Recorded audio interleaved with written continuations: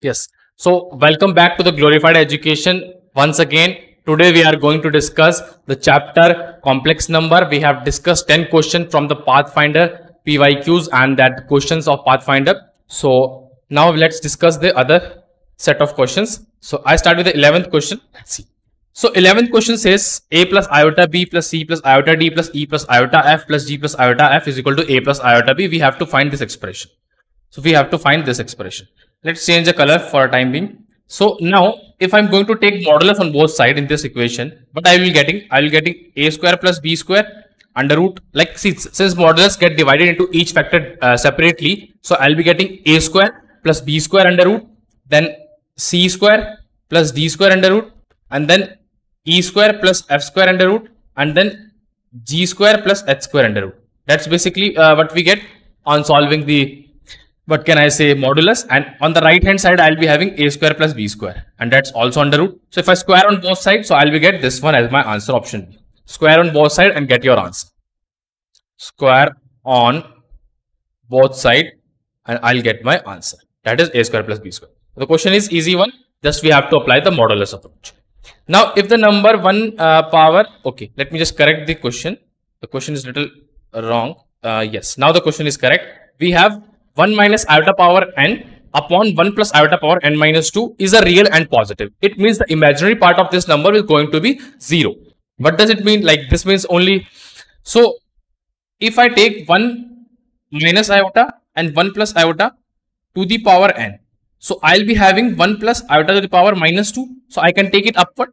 And now if I see this 1 minus iota over 1 plus iota to the power n, I'll be just uh, like doing the conjugate multiply. Like uh, simply, uh, it will become 1 plus iota square.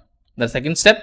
And let me just take 1 minus iota, 1 plus iota. So 1 minus iota here, 1 minus iota here. And to the power n actually which we already have and 1 plus iota square will be 1 uh, minus 1 because iota square is minus 1 plus 2 iota. So I think up to this level is correct. This 1 and 1 cancel out. So I'll be having 1 minus iota square and the denominator will be 1 square uh, minus iota square. That is 1 plus 1 2 and I already have a 2 iota there. So this 2 and 2 cancel out and actually we have okay sorry for this. Uh, this is basically 2 in the power. That is 2 power n basically. So 2 power n. So we are left with like 2 will cancel with 2 power n i left with 2 power n minus 1 that's now. So 1 minus iota power uh, 2 and the whole power n 2 power n minus 1 and iota now see one thing if i uh, take this uh, basic basically square so i get 1 plus iota square minus 2 iota and to the power n so this will cancel out. So I get minus 2 power n, iota power n, iota already and 2 power n minus 1. So these are the real number. If I solve them, we find them real number. Now basically, if I see the imaginary part is iota power n plus 1. Now iota power n plus 1, if I see it, if I take n equal to c, we know what is iota power 0, it is 1. What is iota power 2, it is minus, uh, 1 and iota power 1 is iota only and iota cube is nothing but minus iota and iota 4 is 1. We know this. So it means only in the even power like 0, 2, 4, 6, 8, we get a real number. So it means n should be equal to odd.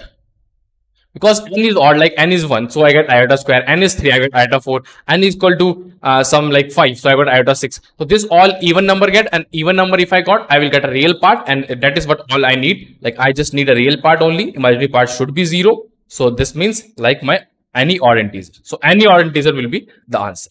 Yes, any odd integer you can put and you can get your answer.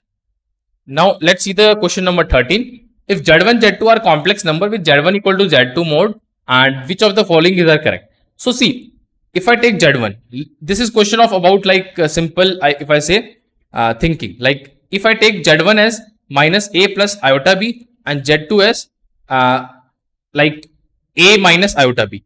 Then also we have conjugate of this uh, sorry modulus of z1 is equal to a square plus b square and modulus of z2 also a square plus b square. And if we can see like neither their imaginary part are equal neither their real part are equal. Because uh, in this case we have minus a in this case we have a in this case we have b in this case we have minus b basically. So neither the real part are equal neither their imaginary part are equal but since they but still their modulus are equal. So I can say uh, like none of the above. Like no statement is fixed for like this. Z1 should not be equal to Z2. Like Z1 can be equal to Z2. It's a case, but Z1 not equal to Z2 can be also the case where Z1 mode equal to Z2. So this is like we have to understand with that basic thinking. Now let's move to the next question. The next question is argument of this. So this is basically, let me correct, it is iota basically here. So uh, 1 minus sine theta plus iota cos theta. So argument we know tan theta, if you want to find out, it is basically y by x, y by x. Uh, so y means like uh, something with uh, like iota and x means this. So it, simply it becomes mod of cos theta over 1 minus sine theta and tan theta of this. So it means if I want to find tan theta, I'll get theta is equal to, if I just do not consider mod for a time being, so I'll be basically getting because I can see my options all options are like pi by 2, pi by 2, pi by 4, pi by 4. So basically things are going in the first quadrant type things. So, or, or otherwise I can assume the different things also. But for time being, let assume tan inverse, just a minute. This is tan inverse of uh, cos theta over 1 minus sine theta. Fine. And what else I have? Yes. So now cos theta 1 minus sine theta can be converted as, uh, do one thing, uh, just write cos theta as cos square theta minus sine square theta by 2, sorry. That is theta is equal to tan inverse of cos square theta by 2 minus sine square theta by 2 and just write your sine theta as 2 sine theta by 2 and cos theta by 2 and one more thing write one as sine square theta by 2 plus cos square theta by 2 plus cos square theta by 2 that's all. Now our work is uh, like about to be done. So i can write basically let me take another page. Theta equal to tan inverse. Theta equal to tan inverse. And denominator I'll be having cos theta by 2 plus sine theta by 2 into cos theta by 2 minus sine theta by 2 and in denominator I'll be having uh, cos theta by 2 minus sine theta by 2 whole square. You can see like if I take backward it is cos theta by 2 plus sine theta by 2 uh, like minus I can take anyway because it's whole square. So if I see uh, this part and this part is cancelling out. Now I left with theta equal to tan inverse cos theta by 2 plus sin theta by 2 upon cos theta by 2 minus sin theta by 2. Now if I divide with cos theta by 2 in numerator as well as in denominator, I'll be having theta equal to tan inverse 1 plus tan theta by 2 upon 1 minus tan theta by 2 and we know 1 plus tan theta by 2 and upon 1 minus tan theta by 2 is nothing but theta is equal to tan inverse of tan of pi by 4 plus theta by 2. This we know. You can convert and can find. So my answer will be pi by 4 plus theta by 2. So I can match the option. I can see the answers like pi by 4 plus theta by 2. Let me just check. So pi by 4 plus theta by 2 is the option. Let me take this screen pan. So this D is my answer basically. Now let's move, uh, move towards the last question for today and then we will see next uh, things in the next session. So if the cube root of the unity are 1 omega and omega square then the roots of equation this. Now if you see the root equation, the equation is x minus 1 whole cube plus 8 equal to 0. So basically what I been doing, I been doing like x minus 1 whole cube is equal to minus 8. Now taking power 1 by 3 on both sides I'll met with x uh, minus 1 that is minus 8 power 1 by 3 now I can take minus 1 power 1 by 3 and 2 power 1 by uh, sorry 8 power 1 by 3 will be 2 basically because 2 cube and 2 cube power 1 by 3 is basically 2 so I'll be having 2 minus 1 power 1 by 3 now for minus uh, 1 power 1 by 3 we know three things. 1 omega and omega square. So basically I'll be having basically I'll be having x minus 1 is equal to 2 into 1 and x minus 1 equal to 2 into omega and x minus 1 mm, just wait for a minute. Yes x minus 1 is equal to this uh, 2 times omega square. So if i just solve this out i'll be getting uh, like in the first case uh, okay. So one mistake like uh, just a silly mistake this is.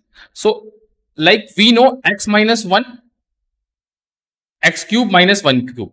That is equal to 0 if we take. So we get x cube is equal to 1 uh, cube and then I have take like x cube minus 1 that's only maximum. So there we are having minus omega and minus omega square. So let's put minus omega and minus omega square here. So I'll be getting still I getting something wrong. Okay, minus 2 here. So minus 2 plus 1 is minus 1. So minus 1. So minus 1 and 1 minus 2 omega and 1 minus 2 omega square. So my option B will be correct answer. You just match it out, you will get the correct answer. So this is all about in this session. We will see next things in the next session.